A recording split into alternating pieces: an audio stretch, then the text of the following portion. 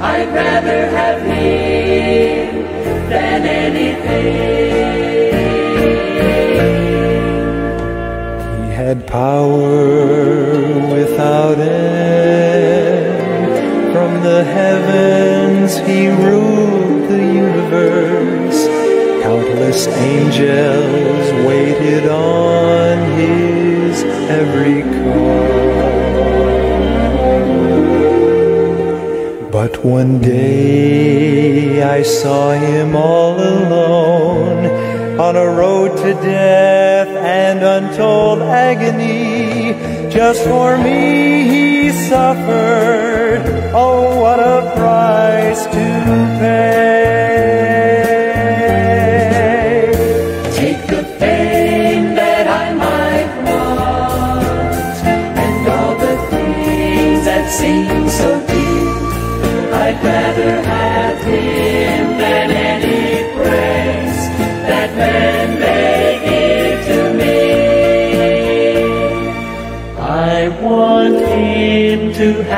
Control and be the breath of life in me.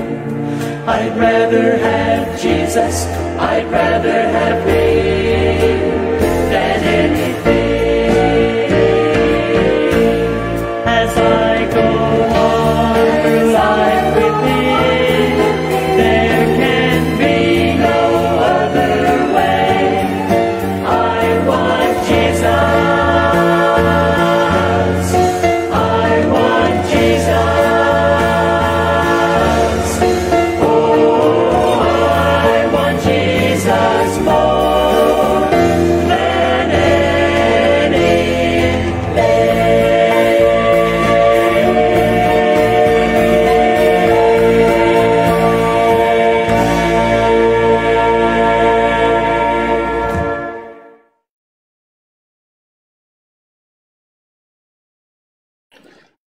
Magandang umaga po sa ating lahat.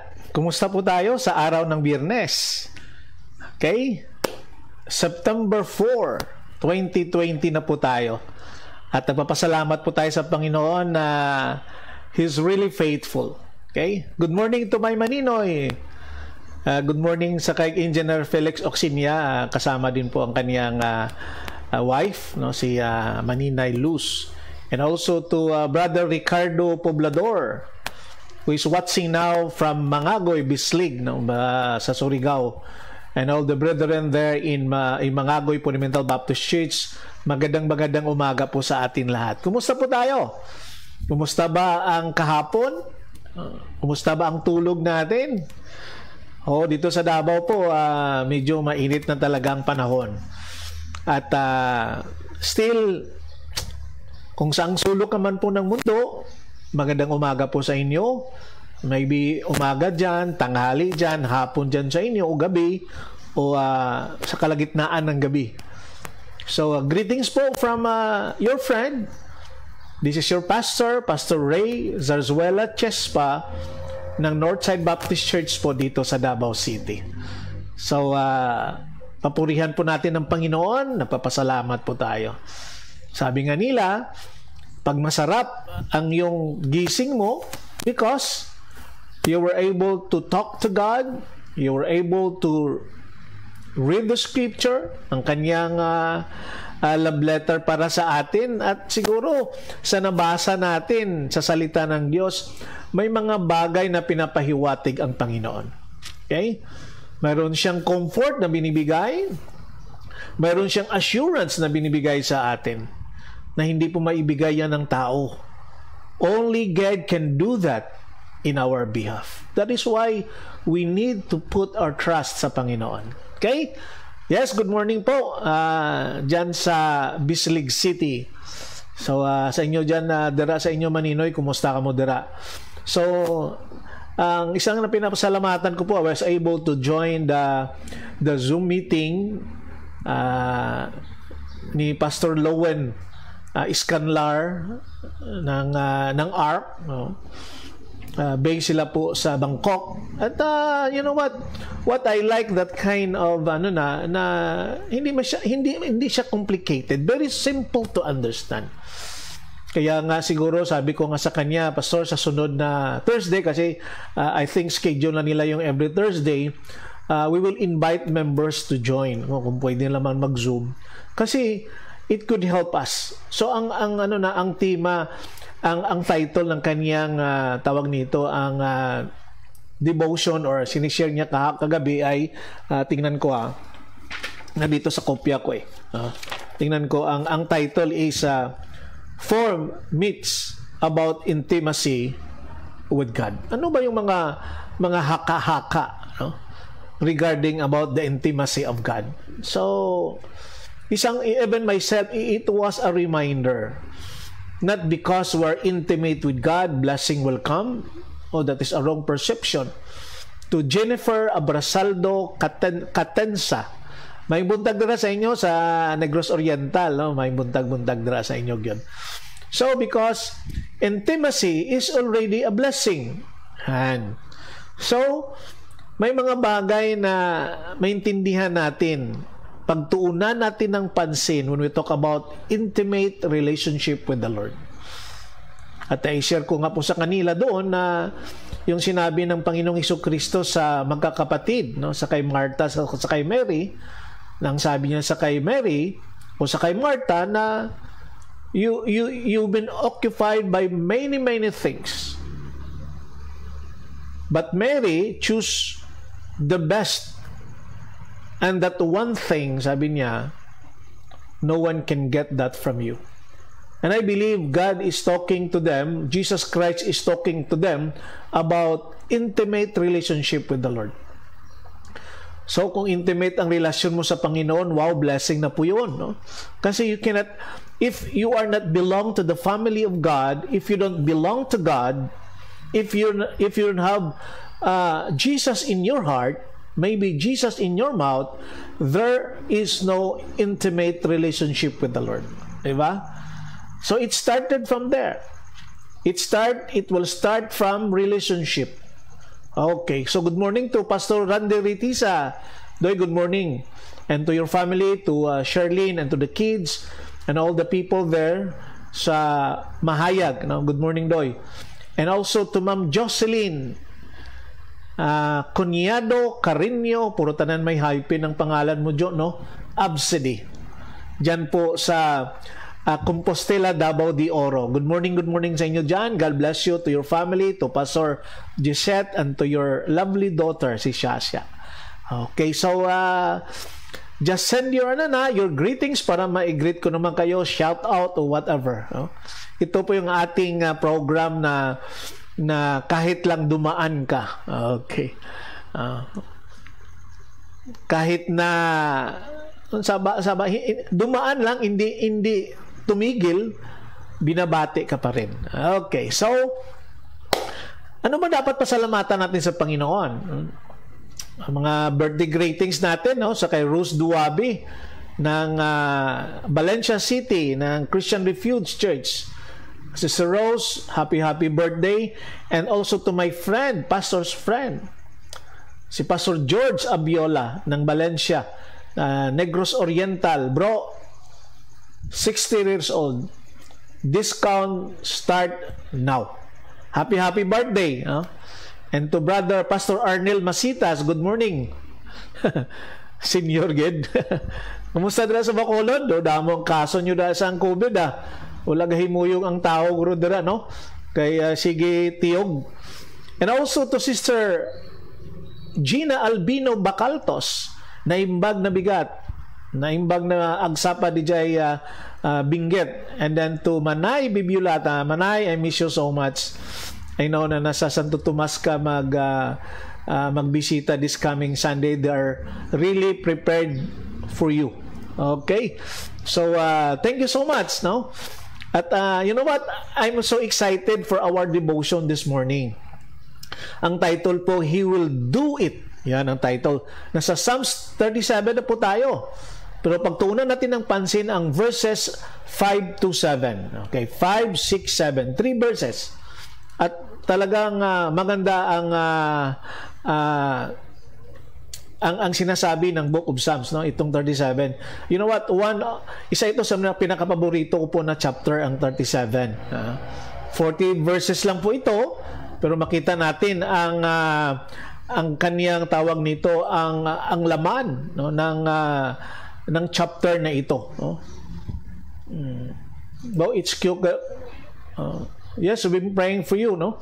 Uh, okay, so uh, talagang ano na ang uh, quarantine dira sa Bacolod, no? hoping uh, this coming November kung magkadto ko dira libre na ang pagsulod, no? We will praying for at atong mga lugar no all the all, all those uh, uh, what we call that uh, area I don't know dito sa Davao kung ano na kami hindi, hindi ko pa na ano na kung uh, maybe uh, MGCQ kami or what pero uh, maganda balik-balik na po ang ano na ang mga business dito there are some hotels there are some inns pension house na binigyan na po ng uh, uh, ng uh, ng tourism ng Department of Tourism na they could uh, have their business balik no so good morning to my pinsan no? to my cousin to Josie Oy, dira sa Bacolod City, may aga dira sa inyo.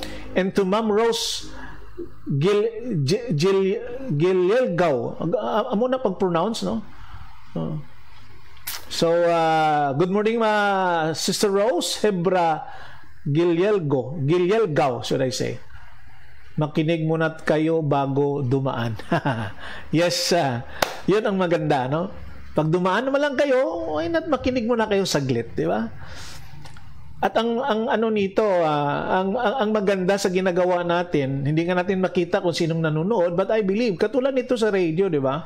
You cannot see your audience. But it is not really, hindi ko na po trabaho po yun. No? Ang pag, uh, ang pag ano nito, na, na mapakinggan, makarating sa puso ng mga nakikinig. But I'm doing this as part of my obligation or my my responsibility to share the gospel and allow the Holy Spirit to work within those who pass by, those who listen, oh, di ba? So, uh, isang bagay po yan na pasalamatan natin sa Panginoon because faith cometh by hearing according to the book of Romans, di ba? So, ang gawain lang po natin is to share. Oh, i-share lang natin ang gospel. Good morning to uh, Josefa, uh, Polmitan Magbanwa. Good morning, good morning sa inyo dila. Good morning, Seth. And also to my ihado, Pastor Janes, Janais Sirhas ng Panabo Fundamental Baptist Church with Litlit and to the kids and to the brethren, God bless you. And also to Ma'am Roslyn Baggy, good morning din po dyan to your family and then uh, God be with you as you do your work. No? God uh, give more blessing and client sa imo. And also to Kathleen Abinis, Kat, uh, naimbag na bigat. Uh, saan ka ngayon? Nasa inyo sa Ilocos or uh, nasa Baguio ikaw. Good morning. And also to the people of Gumatdang, Itugon. Uh, to my, to my in-laws, Bayaksan family, John, to your family. And uh, uh, Balakdaw, sino pa dyan? Madalag. Uh, sila dyan nila ni uh, mga bayaksan yung mga pamangkin ko na imbang na bigat kada kayo amin no sana uh, namimiss ko na ang mga pangalan nyo na dumadaan dito sa screen ko eh no, sa monitor ko so good morning And uh, yes, Ihado, uh, Ihado Janais, uh, good morning po sa inyo dyan. So, uh, as all we know, no, na ang, ang mga ang mga celebration natin, no, isang bagay na nakikita ko talaga that we, we, we will enjoy the presence of God. So, He will do it in our behalf. So, uh, sabi nga dito sa, ano na, uh, basahin ko sa inyo ang verses 5 to 7. As I said la kahapon, uh, 40 verses po ang Psalms 37. No? So, basahin ko sa inyo ang verse 5 to verse 7. Commit everything sa NLT po ito na version. Commit everything you do to the Lord. Trust Him and He will help you. Verse 6, He will make your innocence radiate like the dawn, and the justice of your cause will shine like a noonday sun. And in verse 7, Be still in the presence of the Lord and wait patiently for Him to act. Don't worry about evil people who prosper or fret or worry about their wicked schemes. May the reading of God's Word bless and glorify His name. So, isang bagay na, na makita po natin dyan. To Ateneng, dyan po sa Amazing Faith Baptist Church sa Paranaque. Mayong buntag sa imo Ateneng. And to Robert, to Brother Robert Faaldin. Good morning po sa inyo dyan, all the members ng Amazing Faith. Ganda ng church nyo, Ateneng ah. Oh? Bagong location, bagong building, talagang to my friend, Pastor Jihan. Uh, good morning dira sa imo. Okay? And uh, all the people there, si Sister Christy Habaro, good morning din po dyan sa La Union. And to your family, God bless you. And also to Brother Tutong Delcano, good morning din po dyan. Uh, malapit na tong, uh, lapit na makagwa dara sa uh, kulungan, mean, sa quarantine uh, center ng Megaw. And then, next week, you'll be with your family.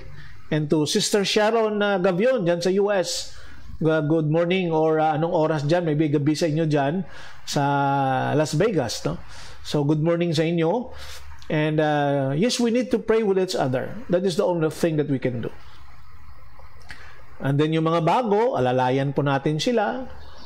And I know that uh, ang Diablo, ang kalaban natin, talagang uh, masipag din ng paggawa ng mga bagay to distract us or to destroy us. Yun, yun ang ginagawa ng uh, ng kalaban po natin. Okay? So, uh, before po tayo magtuloy-tuloy, uh, mag-pray muna po tayo. Panginoon, salamat. Thank you so much, Lord, for this beautiful morning that you have given to us. Thank you for the sun. Thank you for the night rest.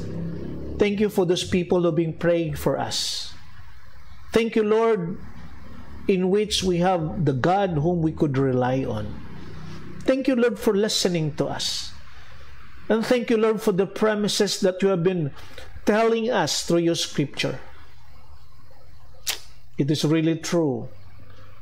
Lord, give us an open heart that we will continue to glorify your name. Praying, Lord, that each one of us have the heart And I know, Lord, that you want us to have intimate relationship with you. Tulungan mo kami, Panginoon. I've praying also, Lord, for Bacolod City. I've been praying, Lord, na talagang uh, very strict ang kanilang government, ang kanilang uh, local uh, government because of the pandemic. I pray, Lord, for Christians not to worry, not to fret, but to pray and to trust you. Ang family ni Pastor Masitas dyan po sa Bacolod, I pray Lord for them and all the brethren there. Si Pastor Bravo dyan po sa Estepanea na uh, ma- ma- maraming kaso ng COVID. I pray for Brother Tutong Delcano. Uh, I know Lord na excited po siya to be with his family. Bless them, Lord. Sister Sharon Gabion, and our, our celebrants this morning. To my Maninoy, uh, Felix Oxinia and his wife and, and even his children away from him. Mga apo nila, Panginoon. I also praying, Lord, for uh, Brother Victor C. and Myra C. I pray, Lord, for them. Ang uh, health ni Brother Victor, ang kanilang business, Panginoon. Ang business din po ni, uh, uh, ni Maninoy uh, Oxinia sa Bacolod. Oh Lord, be with them. Si Manay Bibiolata, I've been praying also for her. The uh, Absidi family sa may uh, mara, sa Compostela, Davao de Oro. Pastor Randy Ritisa, Panginoon, with his family. Kanya ginagawa araw-araw, Pastor Janay Serhas and his family, and the ministry ahead of him. Pastor Santonia, si Manay Bibiolata, Panginoon, and all my sisters, and all my uh, relatives, Panginoon, sa Negros, I pray, Lord, for them. I pray also, Lord, for Grace Notarte and his uh, daughter na manging uh, negative so that they could go home and to be with their family. And all the Bindoy people. I pray also, Lord, for Mangagoy Fundamental Baptist Church with the brethren there. Be with them, Lord. To Sister Gina, I've been praying also for her. I pray, Lord, that uh, your name will be glorified. And all, Sister Rose Bagi, Panginoon. Roslyn and, his fa- and her family too. Oh, Lord, be with us. I pray also, Lord, for our local government here sa Davao City. Our mayor, oh, Lord, protect them. Give them uh, wisdom on how to solve and how to to help us mga citizen, Panginoon. Ang presidente din po namin, ang mga frontliners namin, Panginoon. Pero also, Lord, for my wife, alam ko, Panginoon, nahirapan din siya sa kanyang uh, bagong uh, ginagawa online class. And the faculty and staff of uh, Little Lamb Schoolhouse. To my children, si Karen sa kanyang pag-study, Panginoon. Ingatan mo rin po siya, give her wisdom, the needs, Panginoon. And to Casey also sa kanyang ginagawa araw-araw, preparation sa kanyang uh, uh, written exam sa DepEd, to my, eld my eldest, si Jem, as a wife, as a mother. O Lord, uh, give her wisdom and to Mats sa kanyang uh, trabaho din, Panginoon. To our apo, Peebles and Nice, O Lord, be with them. Tulungan mo sila, Panginoon. Ingatan mo sila as they grow, na makita nila, Panginoon, how, how beautiful and how awesome you are as their God. To Matuti family also. To may kumare, to their children, Delmar, si Dan, si Dave, O Lord, be with them. And all the, the, the members ng Northside Baptist Church, O Lord, be with them also. Ingatan mo sila. Kanilang negosyo, kanilang ginagawa, kanilang trabaho, pangailangan araw-araw, Panginoon. Oh Lord, Thank you so much, Lord. Carmen uh, Carmen Grace Baptist Mission with Pastor Tolentino, with his family and Pastor Singson. Pastor Dapar ng uh, Fundamental Baptist Church of Santo Tomas with his family. Brother Kukoy Panginoon and his family, Pastor Ruiz and his family, the brethren sa inyong katipunan. Pastor Florence Sumatra, Panginoon sa mga alkal, and with his family also. Brother Charlie Suarez, Panginoon, kanyang family, need sa kanyang uh, pagpatuloy sa kanyang online class sa Dome. Oh Lord, protect them. I know, Lord, that you're always with us. And I know na our prayers could reach your throne of grace with answer. So Lord, as we continue to our uh, uh, meditation this morning sa book of Psalms 37, Lord, bigyan mo ako ng wisdom. Give us wisdom, Lord, to understand this. And help us, Lord, na maintindihan namin, aplikar namin sa aming buhay. To Kuya Ting Tubal and his family sa Luakan Baptist Church o doon po sa Luakan uh, Baguio, Panginoon. And also to my uh, relatives there, in-laws, doon po sa Gumatdang. Oh Lord, give them peace, harmonious relationship among them. Bisan pa ang uh, Bible School dito Ginoo sa sa Negros ang mga faculty and staff harmonious relationship that we pastors should, the, the example should start from us. Lord, help us to be careful in the words that we have been using. Cursing others. Oh Lord, forgive us. Help us, Lord. Pastor Ronolo and his family doon sa Inawayan, Panginoon, sa Turel. Ingatan mo sila, Panginoon. Brother Bibot Monticlaro, Pastor Notarte. Sickness should be gone. Tati Beatrice also. So Lord, thank you so much. In Jesus' name we pray. Amen. Okay. So, uh, oh, good morning to Pastor Tan Lobiano. Uh, buti, Pastor, nandyan ka sa kanila, no? Uh, kapipray ko lang po sa, sa inyo dyan. Uh, so, uh, yes, Pastor Mervin and Pastor Edel. Good morning sa inyo. To Pastor uh, uh, Joy Kanon, dyan po sa Kuta Kinabalo. Joy, nakita ni mo nga ako nga background? Okay, so I miss your place dyan sa Kota Kinabalo uh, sa Sabah, Malaysia. Good morning to all the believers there. And uh, hoping and praying to Pastor Peridol sa Father's uh, Father's Love Community Church. No? All the brethren there. To Sister Jennifer and also to Sister Sheila, ang manager po ng Horizon Hotel. Diyan po sa Kota, Kinabalo. And also to my uh, ihado, Pastor Jonathan Dapar, good morning. To Pastor Joseph Magsipok, dira sa Rojas City. Good morning. So tuloy-tuloy na po tayo sa ating uh, devotion this morning about uh, tawag nito, uh, ang ating uh, So uh, he will do it. Okay. So uh, You know what? Sabi ng verse 5 sa King James Version, Commit your way to the Lord. Trust also in Him, and He shall bring it to pass. Dahil yung sabi ng verse 5, no? Uh, tingnan natin sa isang version, no? Tingnan natin sa isang version.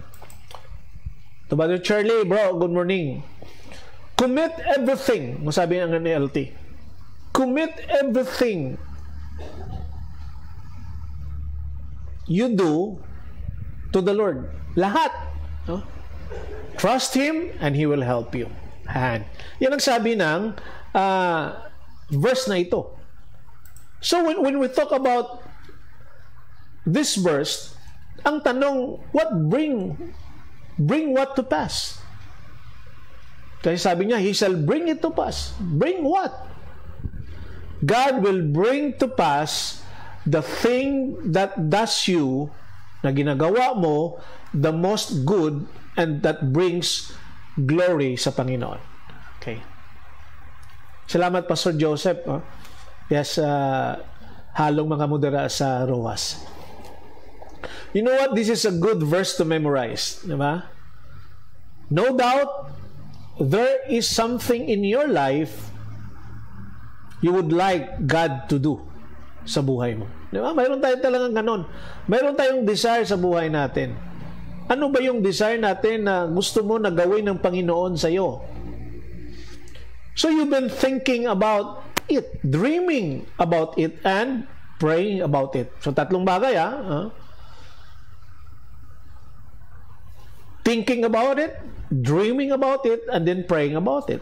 That is what you want God us to do sa imo, sa iyo. So if God is going to accomplish things for us and in us and through us, we must follow certain instructions. Ganun ang Panginoon, may mga instruction na binibigay ang Panginoon sa atin. Una, we must commit our way to the Lord. We must to commit everything, lahat wala kang dapat iwan i, i, i, i, i, i, i, isa tabi. Wala kang pwedeng iwanan.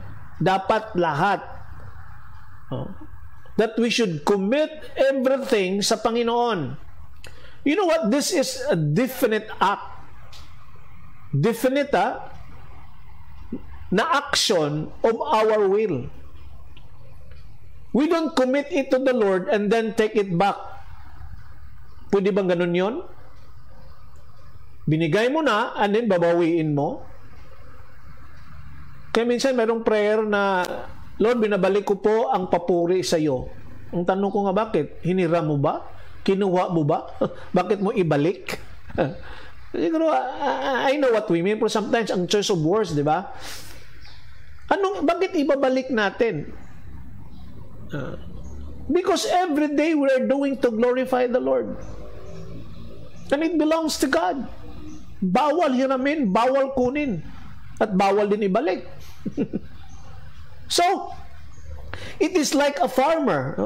Yung isang magsasaka na nagtanim siya ng isang seed, nang tinanim niya na, every morning, binabalikan niya, saka tinitignan niya uli, dinidig niya uli ang, ang lupa, binubungkal niya uli, tinitignan niya yung butil, yung seed, kung talaga bang nag-grow ba yun? Diba? It is not like that. If you already put your, if you already commit your life sa Panginoon, okay na yun. Di ba? Committing our way to the Lord is an act of the will. It is the act of the will. An act of faith. Okay? So if you commit everything sa Panginoon po, kasama na yung will natin dyan at ang ating panampalataya.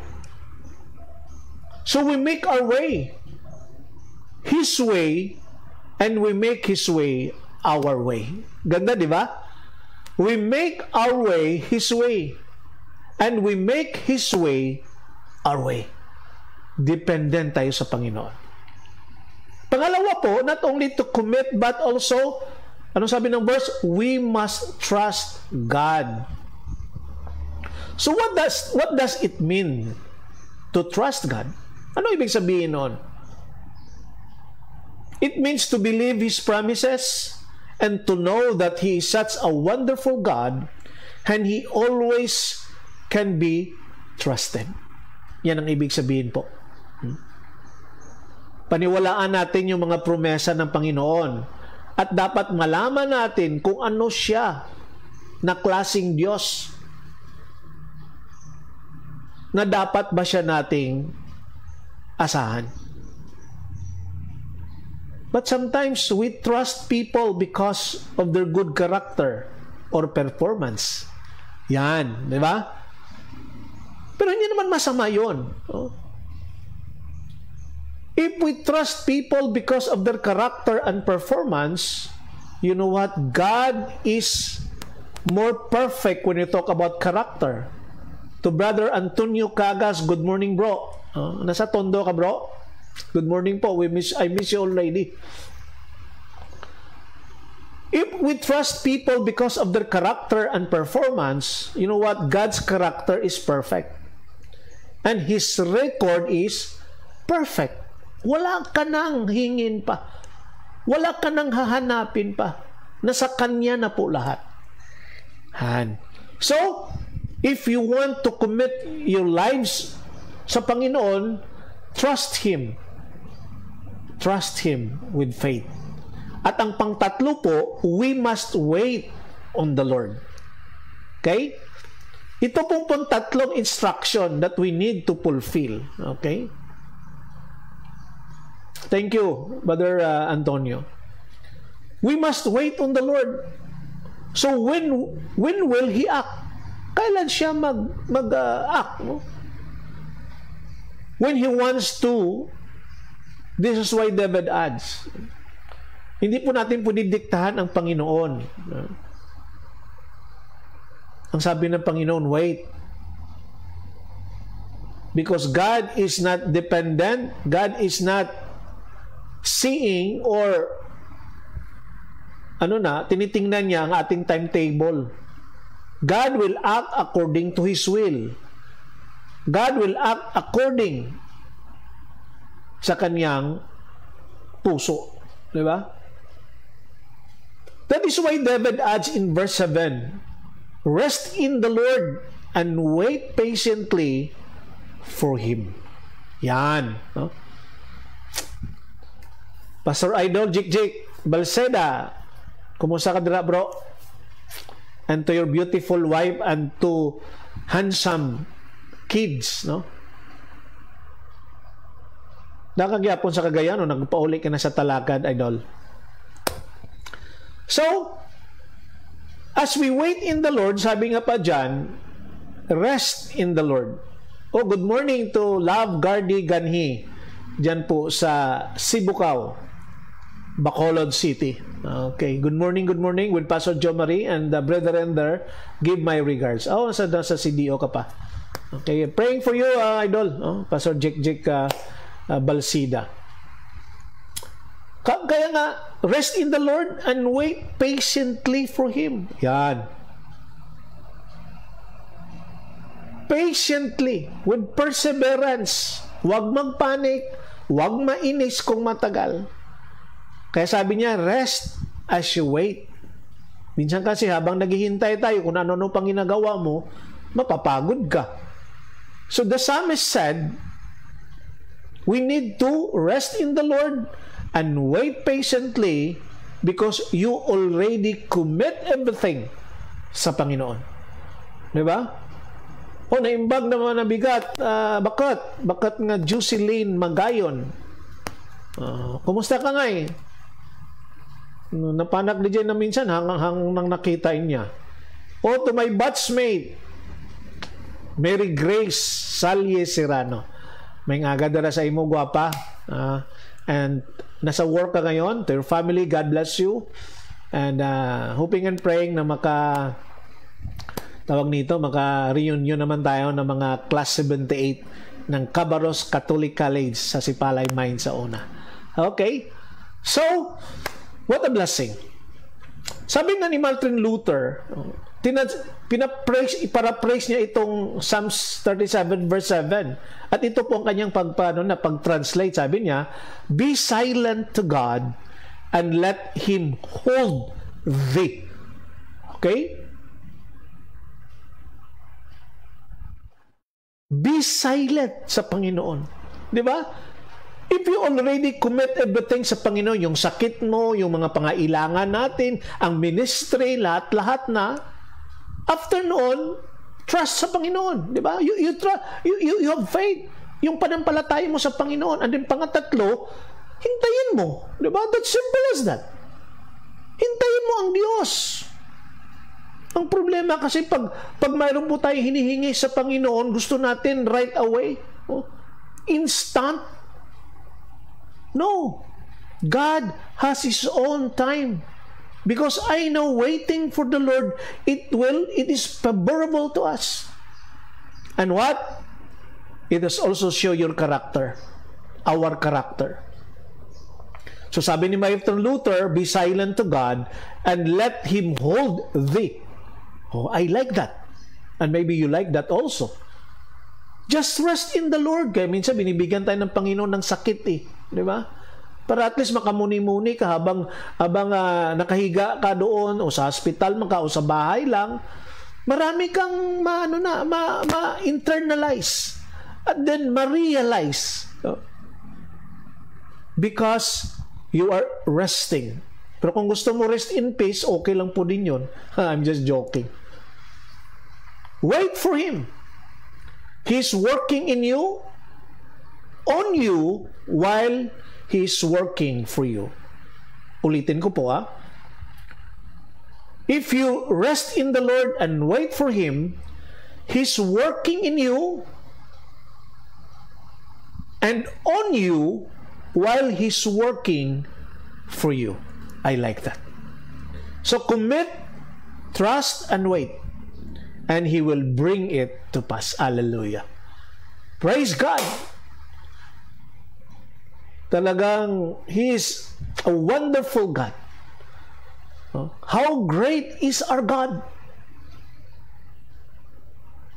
Kaya dapat sa Kanya ka. That is why you should have intimate relationship with the Lord because if you have intimate relationship with the Lord, you are already received the blessing. Yan.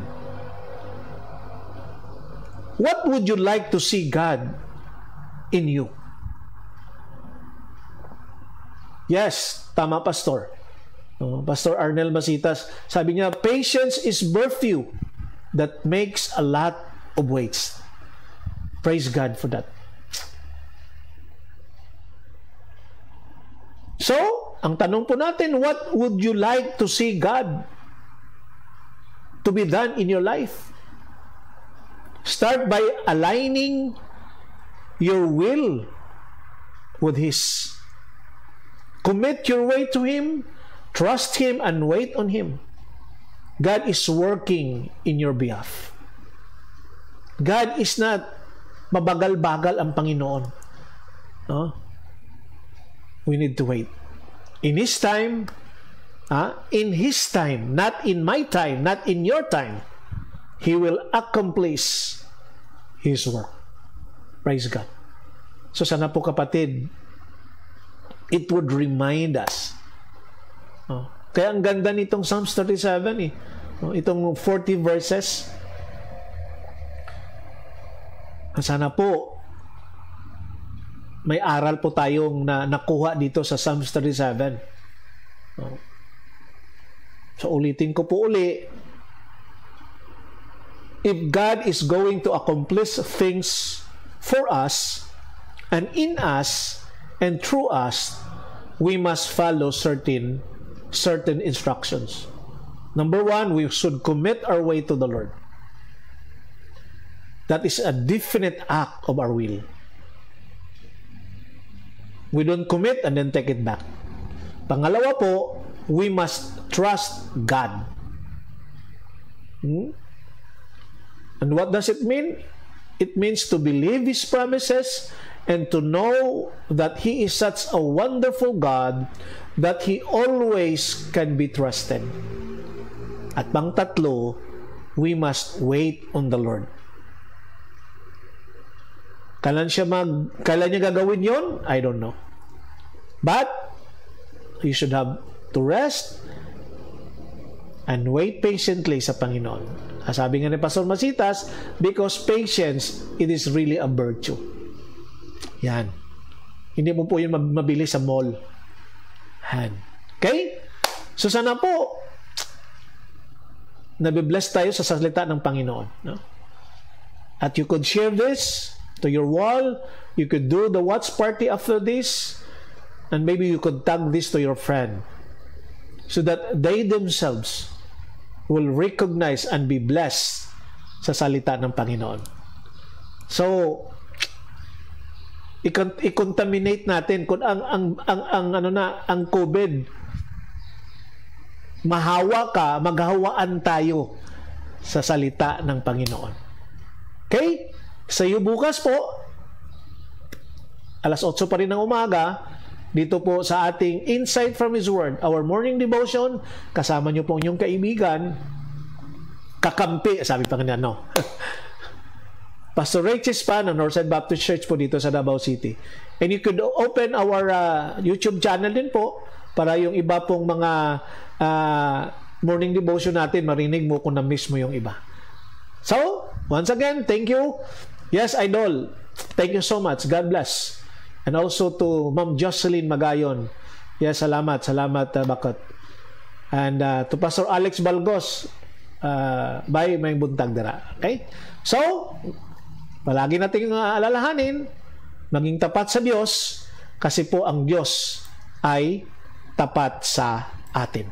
Pakinggan po natin ang ating uh, uh, closing song at ang title po nito hindi ka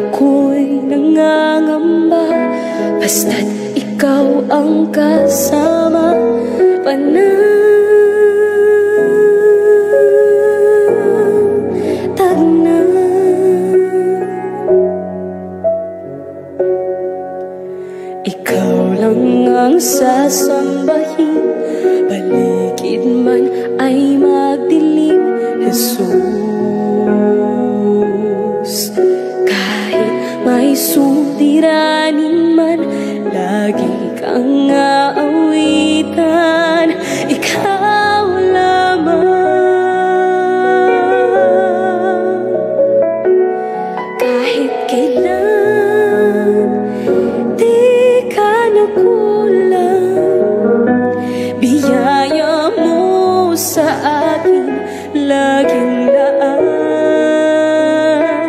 Ang pag-ibig mo